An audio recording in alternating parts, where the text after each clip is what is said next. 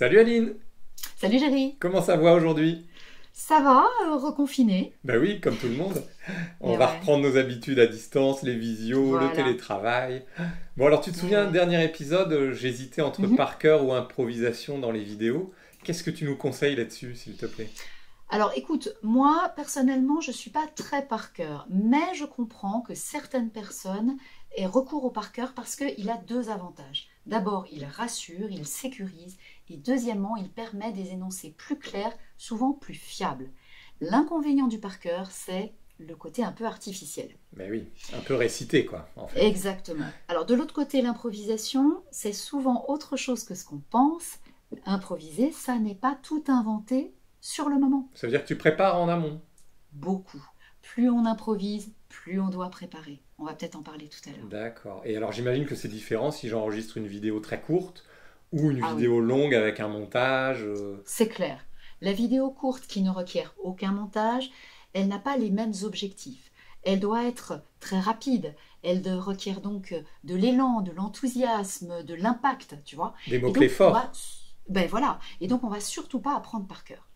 On va plutôt se baser sur un bon canevas, assez précis. Tiens, regarde, je te montre, moi, mon canevas. Ah oui. Il est un peu sketch noté. Alors, euh, c'est un bon bazar à moi, hein, mais euh, voilà, je t'assure, il y a tout. Donc tu as noté des mots-clés, des idées fortes.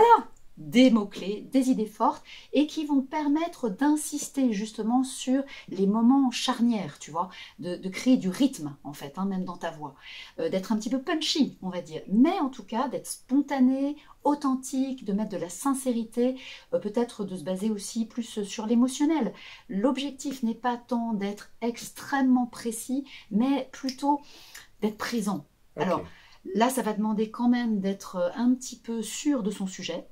Mais euh, de répéter surtout, de répéter, répéter, répéter beaucoup, euh, sans forcément euh, apprendre par cœur. Et sur une vidéo très longue alors, avec des montages, comment... C'est très différent. Là, chaque mot compte. Et donc, on peut faire par exemple du phrase par phrase. On peut apprendre par cœur une phrase, la répéter et la filmer. Et donc à chaque fois qu'on va filmer, eh bien on va filmer exactement ce qu'on a prévu. On aura rédigé dans ces cas-là. hein. Et donc euh, bah, peut-être l'impact va être moins important que le fait de poser sa voix, euh, de prendre le temps d'expliquer, d'avoir un déroulé extrêmement clair. Dans ce cas-là, fais vraiment attention, Géry, parce que la longueur, même si on coupe à chaque fois, requiert beaucoup de concentration et euh, bah, ça fatigue. hein. Donc euh, il faut s'armer de courage euh, et d'énergie parce que c'est l'endurance qui va vraiment être mobilisée. Et on prend les meilleurs morceaux en fait, c'est ça.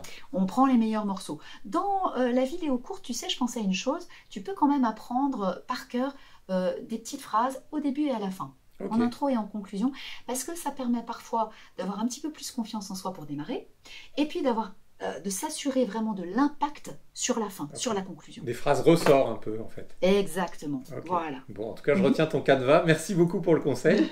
Et je te dis à Je t'en bientôt. prie. À très bientôt, Géry. Salut. Et n'oubliez pas de liker la vidéo, commenter aussi et nous apporter euh, bah, votre témoignage. Quoi. Et quel est le prochain thème que vous souhaitez qu'on aborde avec Aline? À bientôt